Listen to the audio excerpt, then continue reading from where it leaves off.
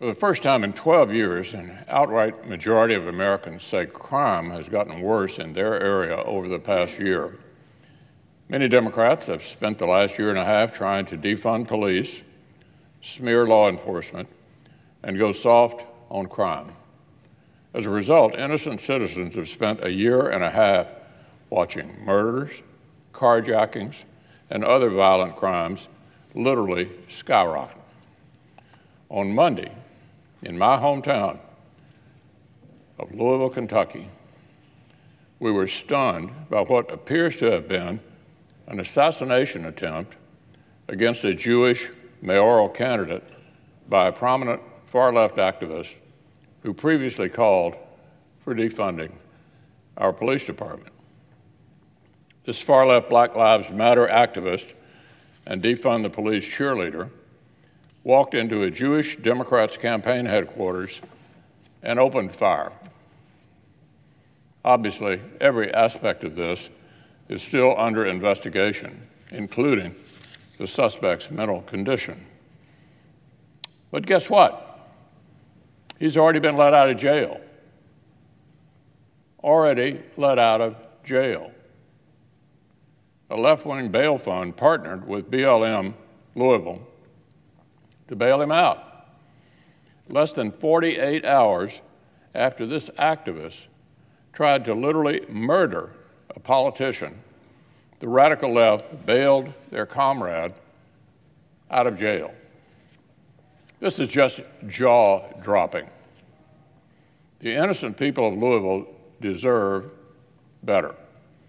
Since 2020, a long list of prominent corporations have donated or pledged enormous amounts of money to the radical nationwide BLM parent organization. One wonders if any of their corporate money helped spring this would be assassin from jail. Now, I'm confident that if activists claiming to be conservative tried to assassinate a politician, whatever his mental state, the media would open a 24 7 national conversation about rhetoric on the right. Somehow, I doubt attempted murder by a BLM activist will get that same treatment. I doubt we'll have a national conversation about the constant chorus of powerful voices calling our society evil. I raise this double standard because it's not limited to media coverage. We've seen this extend into our legal system itself. In May of 2020, when Minneapolis was engulfed in lawless riots, one rioter broke into a pawn shop and started a fire that burned it down. His act of arson actually killed somebody. But the federal attorneys who were supposed to represent the victim and the people went out of their way to push for an unusually lenient sentence. They asked for the typical sentencing guideline to be cut in half. Why? Well, because they wrote the defendant was an angry political protester who simply lost his cool. They wrote, quote, as anyone watching the news worldwide knows, many other people in Minnesota were similarly caught up, end quote as if that were an excuse. This is the sentencing memo from the prosecutors. It reads like it was ghostwritten by the defense.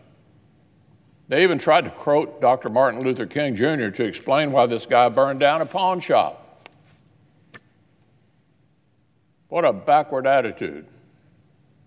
We cannot have federal officials acting like left wing political violence is more acceptable than any other violence. If anything, political violence is uniquely unacceptable in a democratic republic. Now, I placed a hold on President Biden's nominee to take over as U.S. Attorney in Minnesota until he pledged he'd keep political favoritism out of his prosecutions. Fortunately, he quickly said so in writing. He also knows Republicans will be watching. The American people need public servants to crack down on crime and defend their safety. Crack down on crime and defend their safety. Less pandering to woke mobs, more protecting innocent families.